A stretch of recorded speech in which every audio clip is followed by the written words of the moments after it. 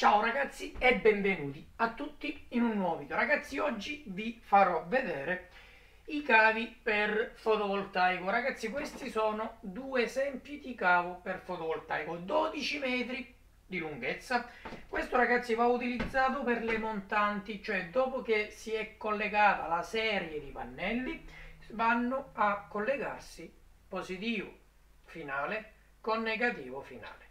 I poli sono quelli standard da innesto, vanno ad innestarsi così e nel, nei pannelli e poi vanno direttamente agli inverter dei cordoni da 6 mm quadri. È cavo nato per il fotovoltaico, infatti qui c'è anche scritto DC cable fino a 1500 volt la portata ragazzi è mediamente rigido, è doppio isolamento come guaina e ha un bel cuore di materiale conduttore.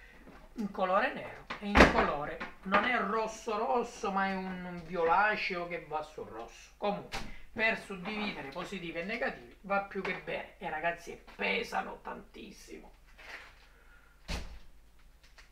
inverter ibridi 5500 watt eh, picco circa 6000 6500 la particolarità l'abbiamo già vista nei video precedenti sono parallelabili perciò tanta potenza tantissima potenza. Volendo ragazzi potrei anche parallelarli tutti. E come? Con questi cavi gialli interconnettendo inverter inverter con inverter entrano tutti e quattro in comunicazione e ragazzi così facendo sanno mm, le frequenze e mettono in sincronia la frequenza della tensione in uscita e tutti possono alimentare il tuo appartamento, la tua villa, il tuo garage, eh, ma anche ragazzi un locale commerciale, un capannone. È normale che in un appartamento non vai a utilizzare quattro inverter, a meno che non è un grande appartamento, una grande villa. Quattro potresti utilizzarli appunto in un capannone. Ogni inverter avrà il suo ingresso pannelli con questi cavi e va ad alimentare ognuno, ok, farà la sua parte perché io ho scelto di utilizzare due inverter ok? Per ogni mio impianto perché dovete capire che io dovrò andare a realizzare due impianti distinti e separati due impianti in due mh, mm, locazioni differenti. Utilizzandone due io ho preferito l'uso di questi inverter ibridi e non di un mono inverter per esempio da 10.000 watt Numero uno, ragazzi, perché non era semplice trovarlo.